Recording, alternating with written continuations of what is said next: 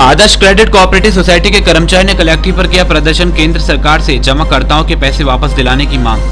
आदर्श credit cooperative society के कर्मचारियों ने कलेक्ट्री पर प्रदर्शन किया। आदर्श क्रेडिट कोऑपरेटिव सोसाइटी के एडवाइजर ने कहा कि चाहे केंद्र सरकार संस्था की जाँच कराए, लेकिन जिन लोगों ने पैसे जमा करा रखे हैं, उनके पैसे वापस दिलाने में सहयोग करे। कर्मचारियों का कहना है कि केंद्र सरकार के प्रतिबंध लगाने की वजह से जमाकर्ताओं और कर्मचारियों को काफ़ी परेशानियों का सामना करना पड़ रहा है। इसलिए आज कलेक्टर के माध्यम से प्रधानमंत्री नरेंद्र मोदी के नाम ज्ञापन सभा। मल्टीपर्पज कोऑपरेटिव सोसाइटी हिंदुस्तान की मल्टी स्टेट सबसे बड़ी कोऑपरेटिव सोसाइटी है, जिसकी देश भर में 806 ब्रांचेज हैं। 20 लाख से ज़्यादा इसमें डिपोजिटर्स हैं, ढाई लाख से ज़्यादा ऐसे कर्मचारी एडवाइजर्स हैं। इस संस्था के 806 ब्रांच में आज तक एक भी कंप्लेंट किसी भी डिपोजिटर की, किसी भी एडवाइज़र की, किसी भी कर्मचारी नहीं। इसके बावजूद भी सरकार ने डेढ़ साल पहले इस पर ज़बरदस्त प्रतिबंध लगा लिया और सारा इसके अकाउंट्स वगैरह सीज कर दिए गए।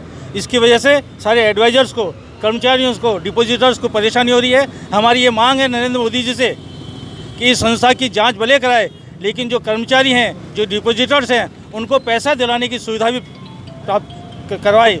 और इसीलिए हमने आज एक ज्ञापन नरेंद्र मोदी जी के नाम से आदरणीय यहाँ के कलेक्टर। महोदय को हमने सबमिट किया है। हमारा उनसे आग्रह है कि सोसाइटी के इन कर्मचारियों को डिपोजिटर्स को और एडवाइजर्स को न्याय मिले और इनका पैसा जो ज़बरदस्ती रोक रखा है सरकार ने इसको दिलाने की व्यवस्था कर। मेरा नाम सम्मान सिंह है मैं एडवाइजर हूँ यहाँ आदर्श कोऑपरेटिव सोसाइटी